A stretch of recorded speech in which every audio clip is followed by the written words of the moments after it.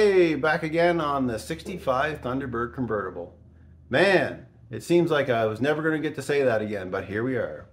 Anyway, we left off on episode 58, uh, doing the floor pan underneath the seat pedestal, where I made the floor pan and getting ready to install it. So in this video, I install it, even though the footage was taken quite some time ago.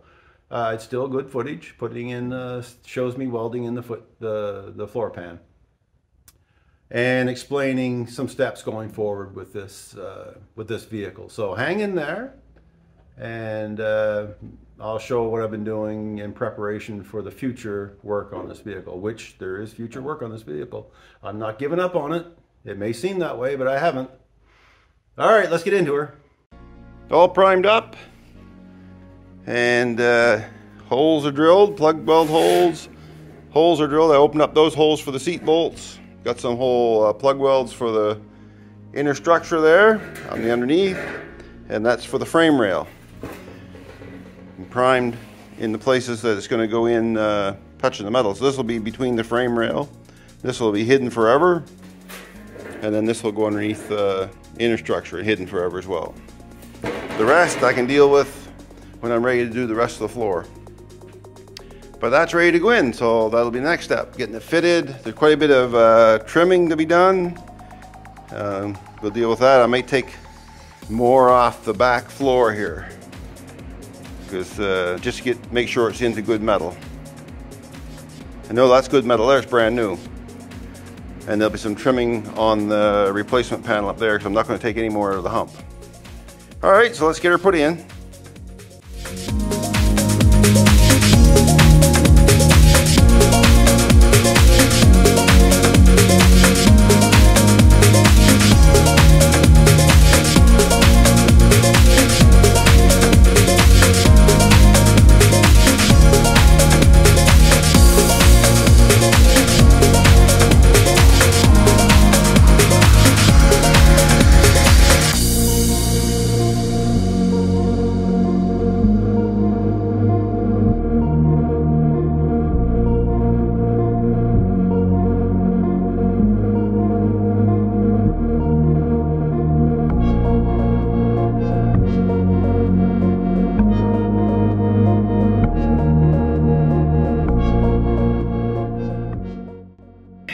Might have noticed I was doing that. That's called, uh, it's a cutting butt. If you watch Tony Fitzpatrick's uh, channel, Fitzy's Fabrication, you'll notice he does a lot of that. It works well. Uh, I had to cut out the piece that goes under the frame. I almost forgot to do that because I would have buried that in. So I, I realized that once I started, so I had to go underneath and cut that section out. That's it right there. I'll use that for something else.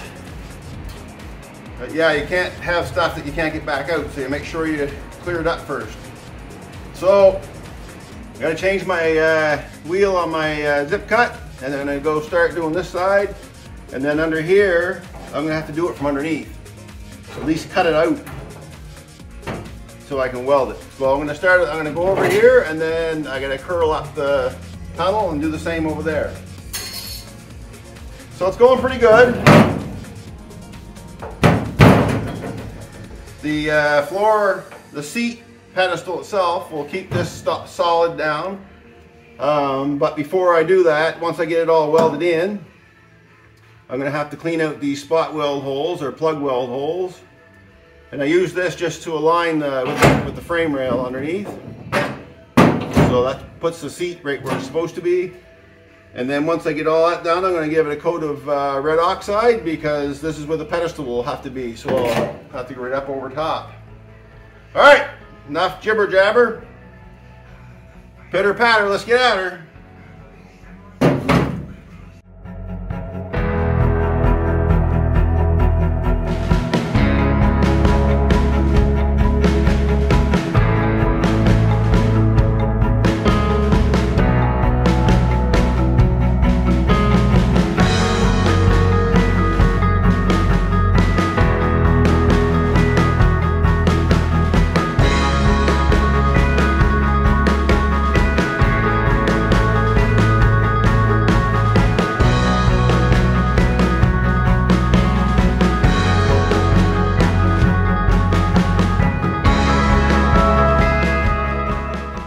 That's looking better. Some more welding to do, uh, but she's looking pretty good. I'm gonna grind it all. I wanna weld it from the other side as well. Double weld it, so I'll, I'll double weld it before I grind it. Give lots of uh, place for the heat to go. And a couple more uh, plug welds to put in down there, one at least. It's looking pretty good. All right, that side's in. Looks pretty good. needs to be ground down and everything. Uh, I started making this side about halfway through making the panel. It's going to be the same procedure as all that. There's really not much to see. So I didn't video it. Um, but I have a few other things I need to do. Uh, over there, I'm working on, if you can see it, I get up here a little higher. I'm working on taking the aprons off the front of that uh, 65 Thunderbird hardtop parts car.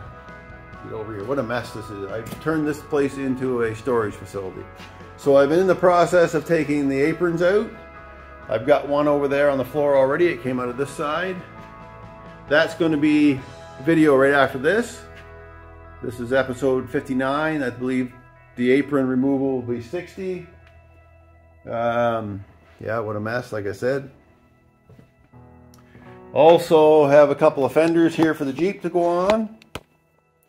I bought a couple new fenders for that uh, 05 Jeep Laredo. So they need to be put on. Well, that's it. That's the rundown for the next few videos coming up. Um, and you might see the newest addition to our fleet here as well. Uh, we bought a little tow vehicle for our van. I'm going to leave that as a mystery uh, for now. Uh, I'm not going to start putting videos up of that new vehicle because I want right away. I will eventually, but not right away because I want videos of this convertible and uh, that kind of thing. The convertible to me needs to, we need to get back on it, get it moving. I've fallen way behind on it. Uh, maybe I had lost interest. Not really. I'm still pretty interested in it. Uh, just so many other things. Anyway, uh, that's it for this video. Um, we'll get this. I'll get this floor pan in, and then we'll get the uh, seat pedestal put, pedestal put back on. I'll do a video of putting that back on, but I'm not going to do a video of welding this this piece in because I just did the other side. The same thing, just the opposite side. So anyway, thanks for watching, everyone. I hope everyone stays well, and we'll see you in the next one.